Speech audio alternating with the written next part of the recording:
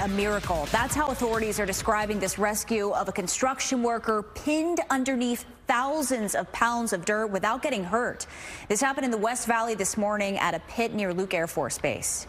So here, take a look at this photo. This gives you a little perspective how deep this is. 30 feet. You can see the rural metro guys, and they do a great job, but they were somewhat helpless in this particular rescue because they were using this enormous cat and earth mover to dig in and try to get this guy out. He's about four to five stories deep, covered in dirt. Now, taking a look at the second photo, it shows exactly where he was trapped.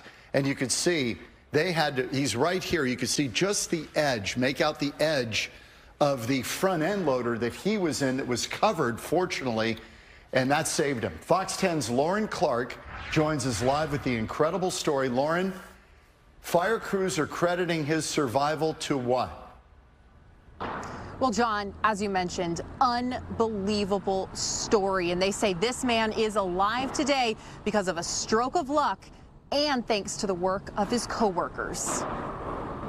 Unbelievable circumstances leading to an unbelievable rescue. I can only imagine. Uh, obviously, being pinned under approximately two to three stories worth of dirt, thousands of pounds of dirt on top of that apparatus. That's what Sean Gilland with the Rural Metro Fire Department said happened Thursday off El Mirage Road around 9:30 in the morning. A worker was in his front loader, similar to this one. Fire crews say he was digging out materials when the unthinkable happened. The trenches collapsed. The trenches are approximately probably five to six stories deep. As that worker now found found himself trapped below two to three stories of dirt. Although he was protected inside the front seat bubble of his equipment, his coworkers say crews were in a race against the clock as his oxygen was possibly running out. We didn't know at the time when all the dirt's on top of him until we until they got down to him how much air, how much time he may have left in that cab.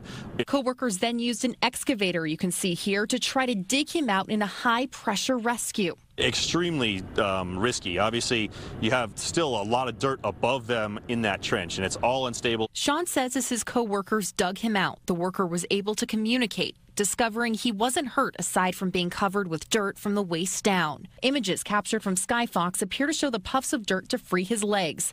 He was later pulled out and unbelievably, miraculously, was okay. To say there is a miracle that worked there, yes.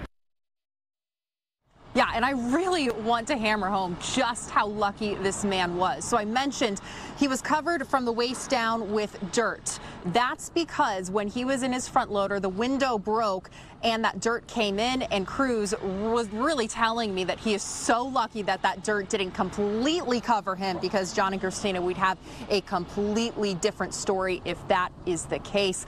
What a remarkable rescue. What um, truly is a miracle. Reporting live, Lauren Clark, Fox 10.